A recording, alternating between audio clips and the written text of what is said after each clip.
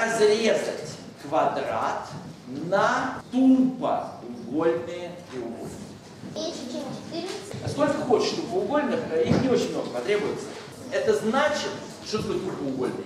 Что в треугольнике есть угол, величина которого больше 90 градусов. Система та же самая, да? То есть, пожалуйста, я рисую вам квадратики.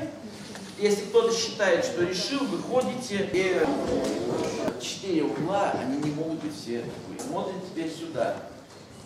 Эти углы тупые, так не бывает. Здесь вообще не треугольник. Здесь опять прямые углы, а должны быть тупые. Господа, вот так, пожалуйста, никогда не делайте. Потому что вы пытаетесь за счет большого количества линий э, замаскировать ошибку. Я очень хорошо помню, у меня был один ученик, который э, несколько лет учась в школе, писал чудовищно плохим почерком. Таким почерком, что ну, фактически учитель не мог его прочитать. А между прочим, был э, очень талантливый мальчик, э, там, по математике много всего решал, и так далее, и так далее, и так далее. Э, все мучились, э, до слез, да, э, прочитать никто не может, но при этом у него по русскому языку всегда была более-менее пятерка. Потому что учительница говорила, ну да, да, да, у него правильно. И вот в некоторый момент у меня были с ним нормальные отношения. И, что называется, ради того, чтобы побороть эту вещь, мы взяли, сели с ним там, на целый час. И буквально по одной букве, а он был тогда уже в довольно большом классе, в восьмом или девятом, буквально по одной букве написали текст. Ну, какой-то из его учебников, стандартный текст. И вдруг выяснилось, но он сделал огромное количество ошибок, потому что просто учителя русского языка ленились все эти годы проверять его работу. А он и доволен. Мне поставили большую оценку, потому что мою работу ну, невозможно там по одной букве разбирать, то замечательно, у меня пятерка. Вот, и прошло вот несколько лет такого режима, и потом вдруг выяснилось, что ему фактически русский язык надо учить заново, ну все эти правила, когда где какая буква, когда где какая запятая, потому что все время он просто получал пятерки за плохой почерк. Да, так получилось. Э, так, смотрим сюда. Ну, э, это на самом деле штука интересная. Жалко, что нарисовано вот так в углу, и это, наверное, многим плохо видно. Поэтапно. Вот взял так, провел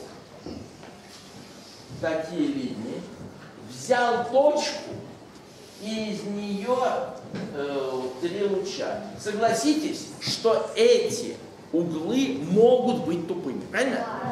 Потому что 360 разделить на 3, 120. Поэтому, в принципе, они могут быть 100, ну, может, какой-то больше, какой-то меньше, но пока противоречия нет. Действительно, такое, в принципе, возможно. Дальше. Нарисовал э, тупой угол здесь. А с этим треугольником также сделал. То же самое под 120 градусов. Здесь то же самое нарисовал. И э, тоже под э, 120 градусов. Господа, это решение. Это решение, замечательно. Сколько на этой картинке треугольников? 11. И вопрос. Кто-нибудь сумеет разрезать квадрат на 6 тупо. Раз, провел диагональ. Дальше, дальше. Так. Итак, молодец. Все, все, все, молодец. Да, да, да, да. Вот, спасибо, все правильно. Э, ребят, на самом деле точка, из которой все три вершины треугольника видны под 120 градусов, настолько часто встречается в геометрии, Точку что у нее даже есть специальное название. Да. Точка Торричелли. Вы, может быть, слышали физик. Ну, на самом деле, математик тоже был, он, бы, занимался тем и тем. Торричелли. Иногда ее называют точка Фермата-Ричелли. Э, Ферма это тоже знаменитый математик. Так вот, точка, правда, я не доказал, что она существует. Понимаете, э, я сказал, давайте нарисуем, чтобы там было 120 градусов. Но я не объяснил, а почему такая точка обязательно есть? Смотрите, сейчас будет строгое доказательство.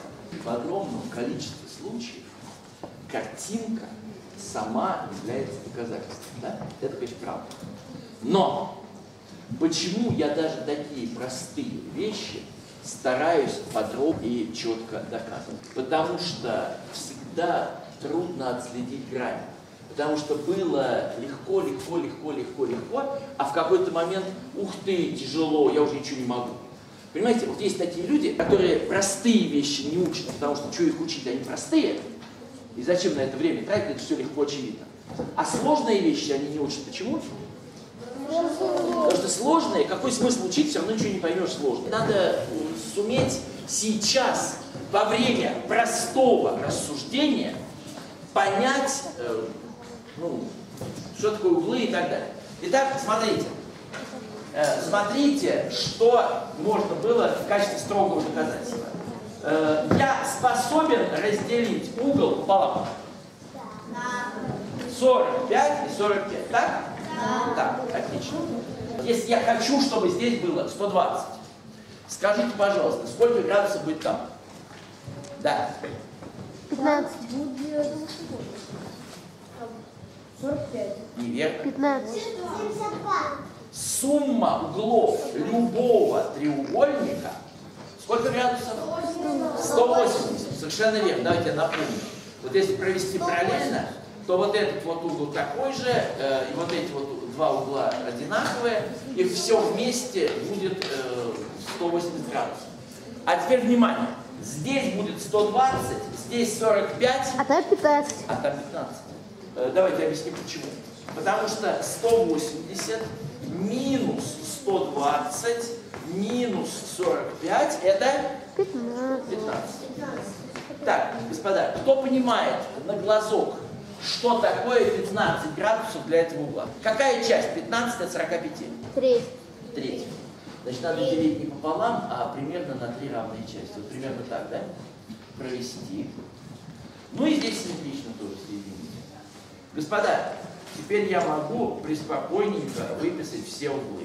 15, здесь 30, там, естественно, тоже 30, здесь э, 15, здесь 120, 120, 120.